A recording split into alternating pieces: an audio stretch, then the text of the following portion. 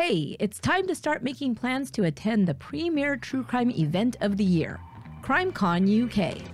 CrimeCon is the world's number one true crime event, and if you're fascinated by all things true crime, you won't want to miss it. CrimeCon UK will be held on June 10th and 11th at the Leonardo Royal Hotel Tower Bridge in London. What is CrimeCon?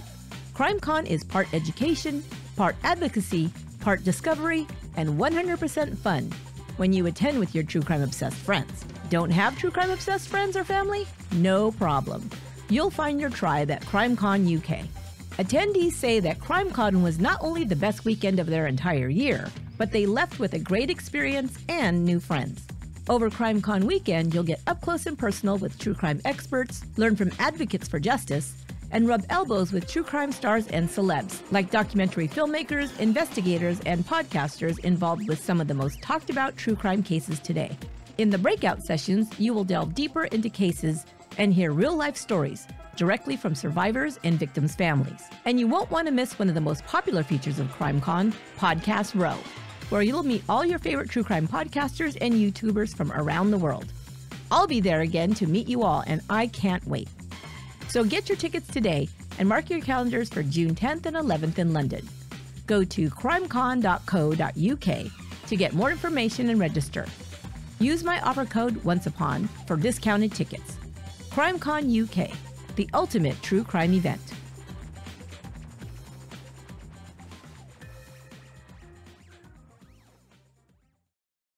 This podcast details true crime cases. It contains adult themes and may contain descriptions of violence. It is not intended for children. Listener discretion is advised.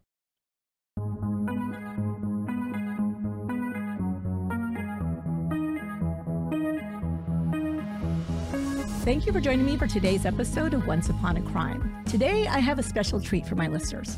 Once in a while, I like to share with you all something I've listened to, or I've read, or I've watched that I think you'll love.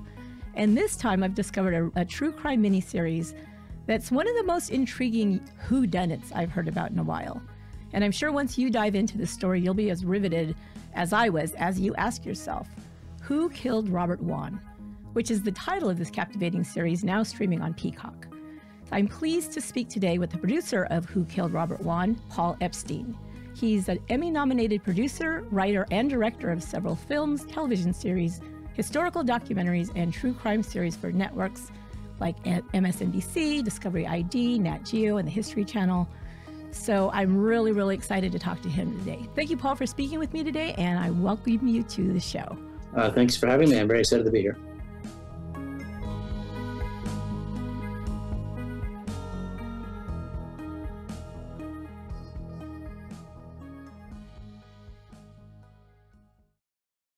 So I heard about this case briefly, like a while back. Uh, gosh, I think it's been several years on another podcast, but it was the only time I ever heard about it. And I'm sure maybe because I'm on the other side of the country, um, I'm in California, so maybe this wasn't something that uh, maybe was on my radar. But before we get into this fascinating crime story, I wanted to learn a little bit about what drew you to this case, because I don't think it was so you know widely known, or maybe I'm wrong. But I guess what I'm asking besides that is if you've always been interested in true crime, stories like this, or was it this case in particular that caught your attention? Well, this case in particular caught my attention. Um, I'm not uh, so much a true crime uh, director and producer, although I've done several projects. But I was working with the uh, federal prosecutor who was trying to prosecute this uh, this case, this trial, um, named Glenn Kirschner on a different project for MSNBC. It was a true crime series called Capital Crimes, because Glenn was the uh, chief of the homicide prosecuting department in Washington, D.C. for a long time. And when I was working with Glenn on this other show, he mentioned a couple of times that he had this really fascinating case that um, he thought I might be interested in hearing about. Not necessarily to promote himself into being in a show about it or anything, but he knew this is something that I would find interesting, or that possibly MSNBC or some other some other network would find interesting. And Glenn Kirschner is a is a great guy. He's very friendly. He's very affable, and as a you know federal prosecutor, of course, he's a great talker. And he just started talking to me about this case and how he got involved. and the extraordinary twists and turns of the whole thing, I was immediately hooked. So I, it took very little time for me to realize that Glenn was right, that this was a fascinating story, uh, one that deserved much bigger attention and recognition than maybe had gotten um, over the past several years, and one that would really make a great true crime show. So that's the thing I would I just just came to my mind. You know, you've produced so many different kinds of projects. I imagine you kind of look at these because they're all basically nonfiction. I, I assume um, that you kind of look at it though as how to tell a story. So it's kind of a storytelling thing. And and it seems to me because I mean this is kind of how we pay attention to things, right? Is like we can have you know facts about things or we could read a news article maybe you know a paragraph or two in the newspaper but until somebody really lays it out like this story the beginning the middle and the end what happened and maybe like you said twists and turns does it really kind of leap to the attention of the general public i think do you know what i mean was that part of it was the story element of this. As i started watching this i realized it's like if you're reading a book you want to keep turning the page like what? Like what happened next? What does this mean? You know that kind of a story. So is that kind of the sensibility that you have when you pick a project to work on when I pick a project to work on, it's usually because I feel like there's going to be a really great, compelling story to be told. Um, you know, certainly almost all true crime stories, wherever they are on podcasts or TV or in books or what have you, um, they really create great stories. And I think that's what audiences really respond to.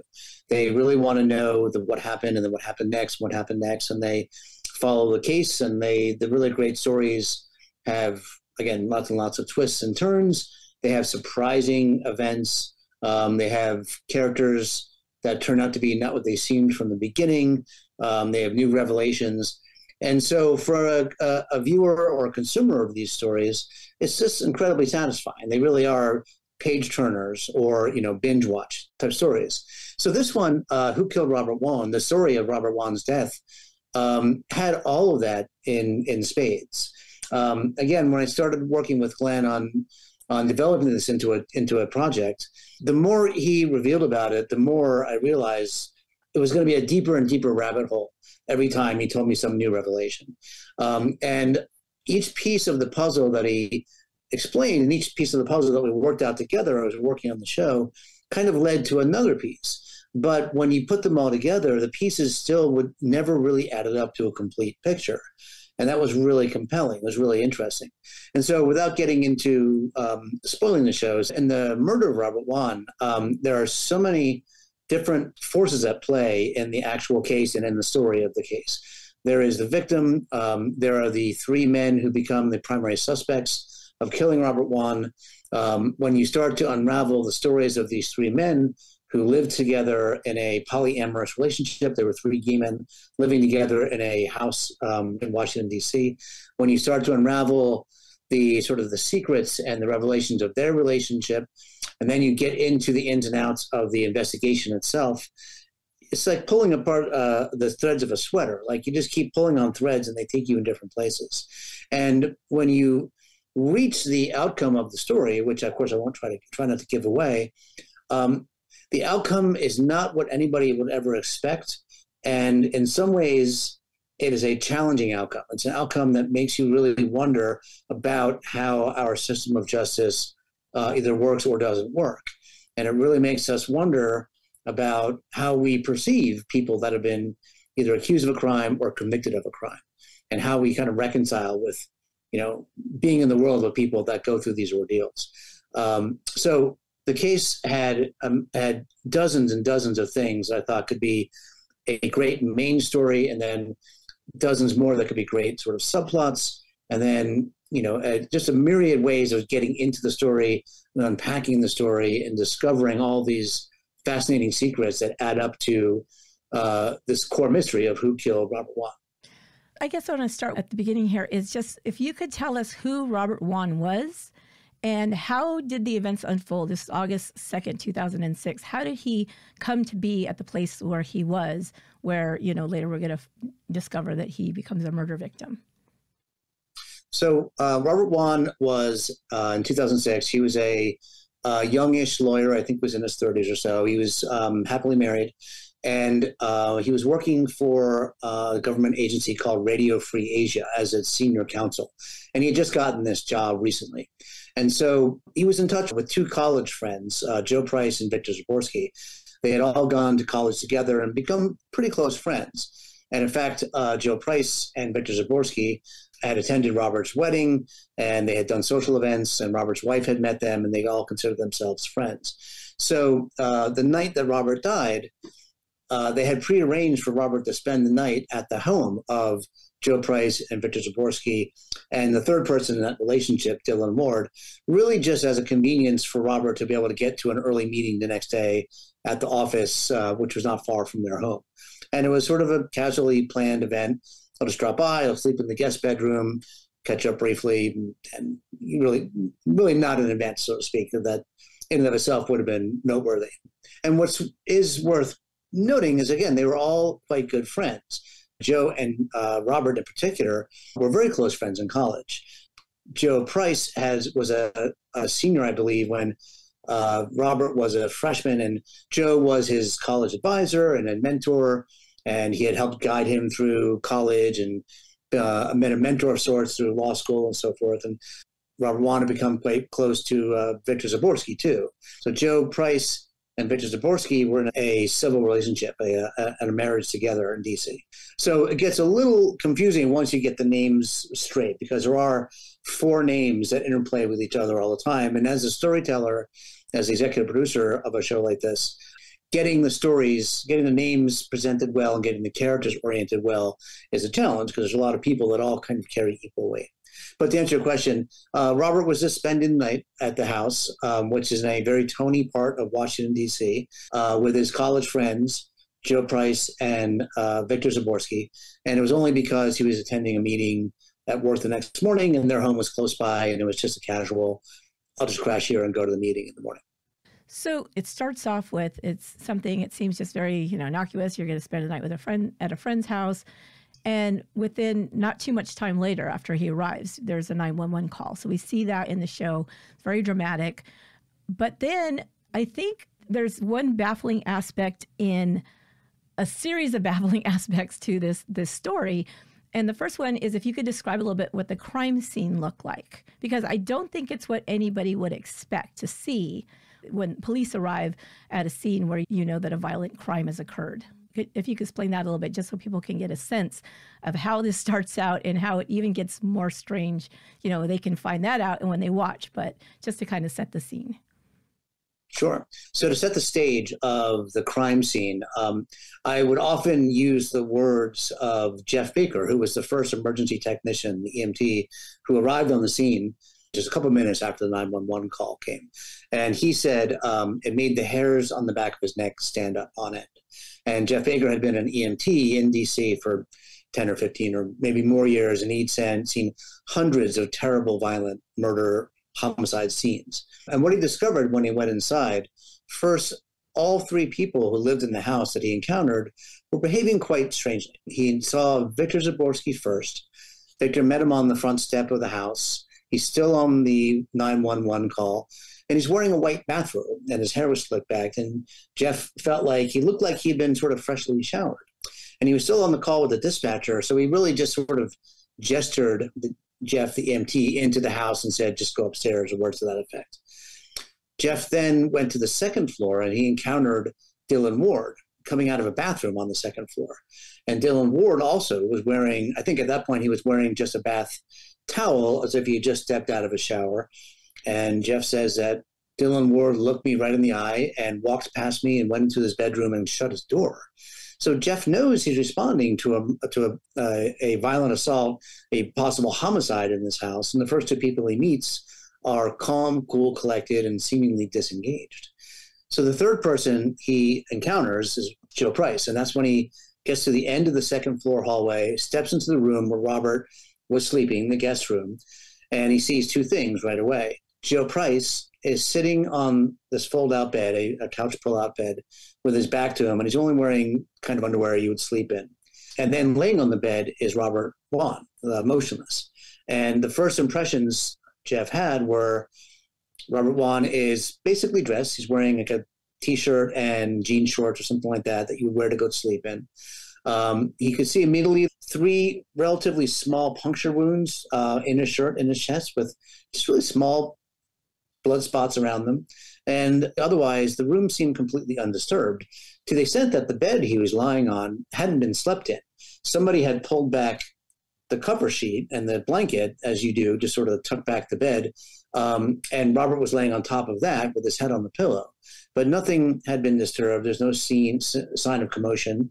Robert's uh, wallet and watch were sitting on the nightstand alongside of a bloody knife the first impression that you would have had coming into this crime scene is that this is nothing at all what I would expect when I had just been told by the 911 operator somebody broke into our house and stabbed our best friend to death.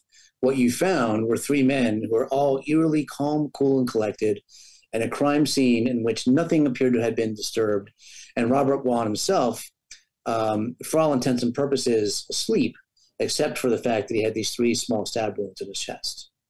Yeah, it was very, very odd. Uh, so immediately, the crime scene, the state the body was found in, uh, the the demeanor of of the men, the, the residents there, that all drew immediate suspicion from the police, even the uh, the EMT.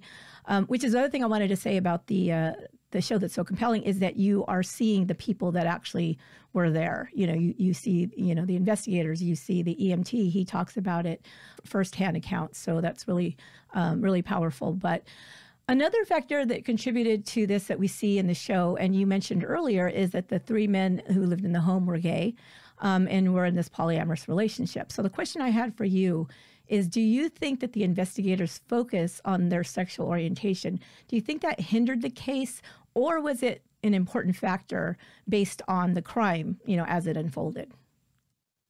So the fact that uh, the three men living in the house who quickly became the suspects in Robert Wone's murder were gay definitely had an impact on the investigation and in a way that I don't necessarily want to give away because it affects the end of the story and of course I hope everybody will watch it. It does affect the uh, the subsequent trial that comes up in a in a surprising way. But when you watch the show, or if you do any of your own research on, online, or you know, looking into resources, when the detectives invited uh, the three at that time just people of interest, I guess you would call them, down to the police station for questioning in individual interrogation rooms, many of those detectives immediately latched on to the fact that they were gay, and they asked a lot of probing, and you know, frankly, to our ears now, and probably even back in 2006 they were fairly homophobic approach to the entire thing. One of them, um, one of the detectives, the initial investigating detectives, just immediately went to the conclusion that Robert was there to have a sexual experience with one or more of these men, even though um, the three men assured them that Robert is straight. He's never indicated any interest in men of any, of any, kind, and he's happily married to a woman, and they've known him forever. They repeated that over and over again in the interrogations. But the detectives seemed to latch on to that, saying, Give us a break. You're three gay guys, and a guy comes over to your house to spend the night. It could only mean one thing, right? And that became a kind of a force that was shaping really even the initial questioning of the suspects. And it may or may not, to a certain degree, have shaped the way the um, the investigation went. But that fact actually led to one of the immediate first really surprising revelations about about their relationship that the investigators found just within a few days of looking at the house, maybe even in the same night.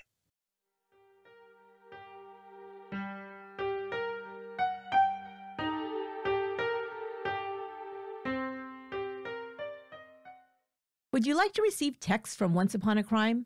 You can opt in by texting OUAC to 408 676 1770. That's the letters OUAC to 408 676 1770. You'll receive texts alerting you to new episodes, special giveaways, true crime trivia, and more. The information is in the show notes as well as on our website, truecrimepodcast.com. Text messaging is provided by TextSanity.com. Text message rates may apply.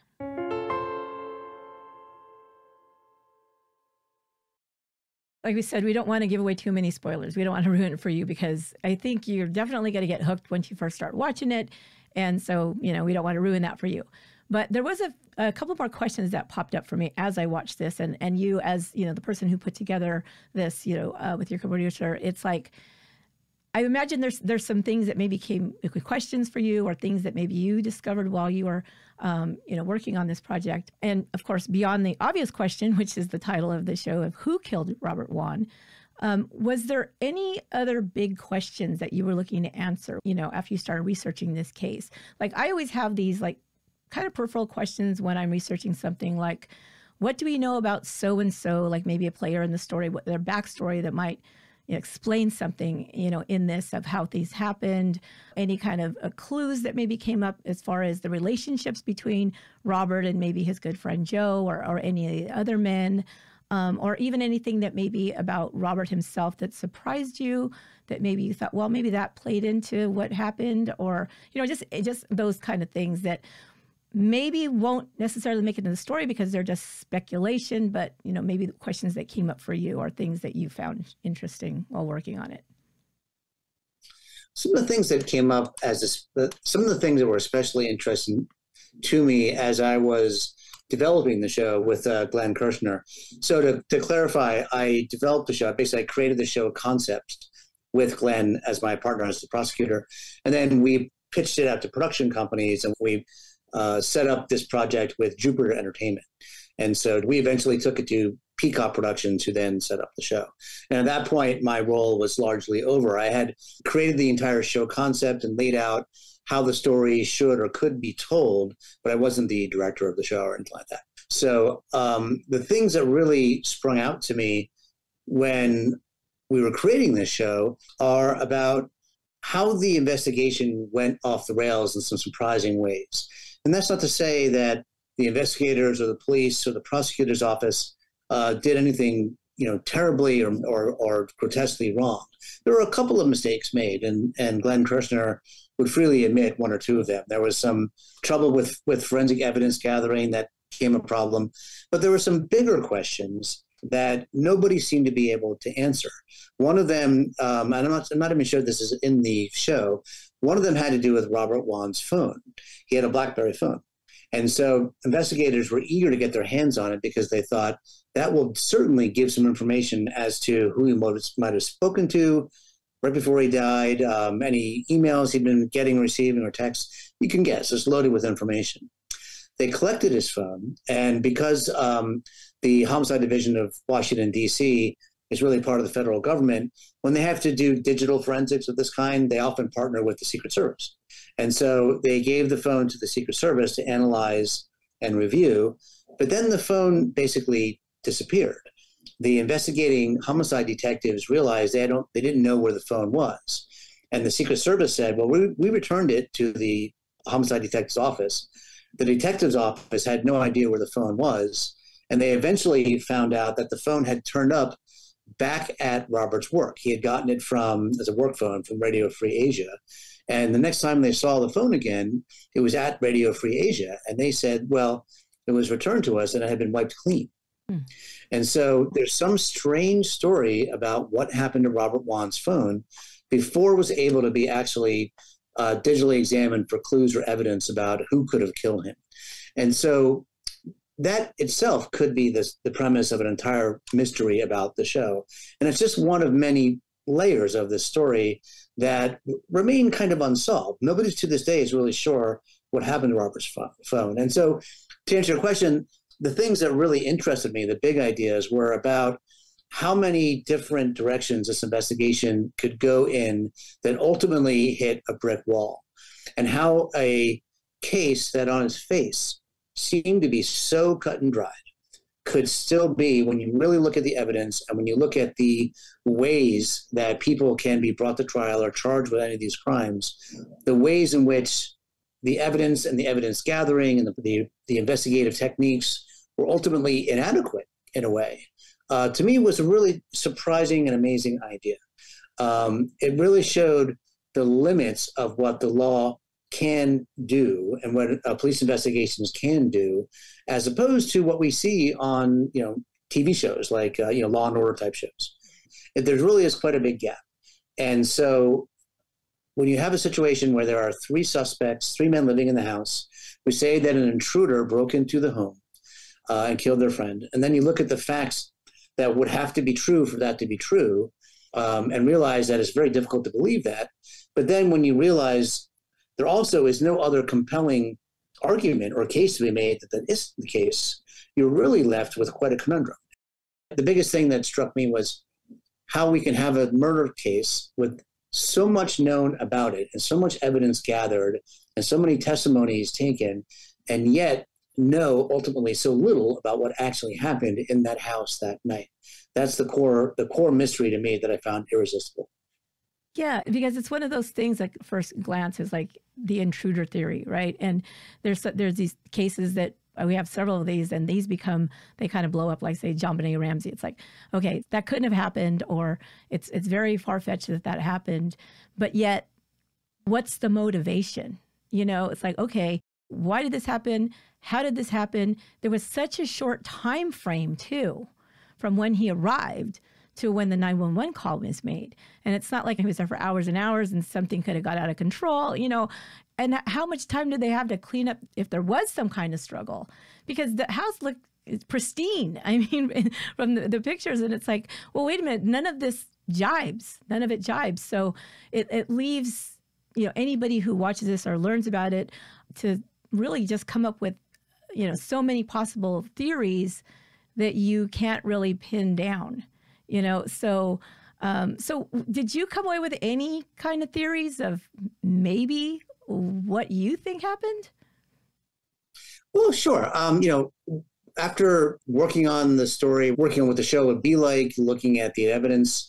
Um, i conducted interviews um, you know pre-show interviews with you know many many people associated with the case you know with the, some of the detectives with the emt worker with the medical examiner with some of the lawyers um, I interviewed, um, I spoke to Robert Wone's wife, who ultimately didn't appear in the show for reasons of her own, but I spoke to her for quite a while um, about the whole thing. It's very easy to, you know, come up with a theory that in your mind will add up almost completely, but then there'll always be some piece of the puzzle that doesn't quite fit. Again, the idea of making a puzzle and thinking it's going to add up to a picture of a bear. Um, in this case, no matter how you arrange the pieces of the puzzle, no picture really emerges. So I do have a personal belief based on what I know about the case about what is likely to have happened. But um, I certainly wouldn't say that this, my personal belief would hold up in court because uh, the investigators and the prosecutors took every possible conceivable angle to try to charge these guys with the crime. And it ultimately it was very difficult to find ways to commit them. And so to answer your question, I do think I have an idea what would happen, what happened that night, but I don't have any specific thing that I can say this proves what happened under that roof on that night. All I can do is kind of connect dots and come up with a likely scenario, but not something that to me is a rock solid bulletproof idea that's the most interesting part about it is that there is there is so no, evidence there's there's all of these things and yet like you said it doesn't play out the way it does on television. It doesn't play out the way that we would see it you know on, on some kind of a drama or something. There's so many factors and we could be looking at something and think oh this looks very clear but still have really no idea because you don't know what was going on in somebody's head or what was, you know, maybe something that happened in a moment. You'll never be privy to that. So there's there's no way to know. And it could look like something completely different than what you think, or it could be something completely different than maybe what you see. So I don't know. You know, the more I, I see things like this, and especially this program so well laid out, the way that everybody gives their perspective from first person accounts and all these other things um, the people that knew, you know, the victim and the people that were accused, you're left thinking, well, this is what we know, and this is what we maybe think happened, but what what do you think happened? I mean, that's kind of where this spins out to, um, as far as viewers, people that consume these kinds of stories. Like they say, you know, truth is always stranger than fiction. So there we go. Very Definitely. much so. And I'm not even giving away some of the biggest bombshells in the story because I don't want to do that. Definitely encourage everybody to go and watch this streaming now on Peacock. You kind of mentioned this a little bit, but just as a final word, what would you want viewers to consider as they watch Who Killed Robert Wone? Like, what are the big takeaways that you hope they get out of it? What I hope viewers take away from watching the show, and I certainly encourage them to, because it is unlike any true crime show that I've seen in recent years for sure, is keep an open mind. It's easy to hear the elevator pitch story uh, version of the story. You know, three guys invite their friend over to spend the night in their house, and the friend winds up dead, and there's no sign of an intruder. You just can easily leap to a conclusion about what happened. But the closer you look at this story, at this case, the more blurry it becomes. So viewers should watch it with interest. They should watch it closely. They should think about what they're being shown. Um, they should think about what the evidence turns out to be. They should think about what they feel themselves about these characters and who they could be and who they couldn't be, and try not to leap to any conclusions and really take a good hard look at, at the story and see what conclusion they draw about what really happened. The show title, Who Killed Robert Wone, it ends in a question mark. It's a mystery. It's there's a question mark at the end for a reason, and it's a challenge to the viewers to look deeply into this case as deeply as we did and see what they can discover on their own. Right.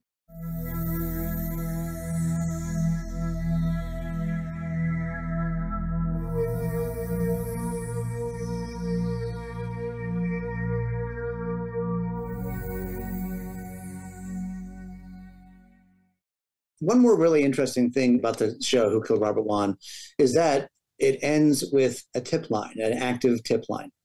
And when you watch the show, it's two episodes. When you get to the end of it, there's a phone number that anybody can dial that is monitored and is recorded. And um, it is to collect information or tips or ideas or information that anybody in the viewing audience might have about this really compelling murder case. And so um, it indicates to me, and it should indicate to the viewers that there is more to the story to be known. There, and we don't know the end of the story yet. And there are people out there in the world who do know the things that we don't know right now. And that information could come forward. So, uh, if anybody's interested in the show, and I hope you are, and if you watch this and you do know something, call that number because the investigators uh, in Washington, D.C will take information seriously if it comes to them. Yes, it's still an active case, correct? It's still an open case. An open case. Open. Right, exactly. I really appreciate you coming on the show and talking about this fascinating story. I'm sure I'll be talking about it with other people because it's just so interesting and there's so much to consider. But I want to thank you for joining me on the show. I really, really enjoyed our discussion. And I strongly encourage everyone to watch Who Killed Robert Wone. Like I said, now streaming on Peacock and interact with us on the Once Upon a Crime's Facebook group because I really want to hear your thoughts about what you think or what your theories on this fascinating case. So please do that.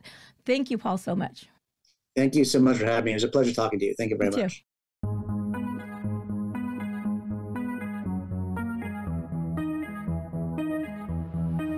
And that will do it for this episode of Once Upon a Crime. Once again, I'd like to thank my guest, Paul Epstein, documentary filmmaker and co producer of Who Killed Robert Wone.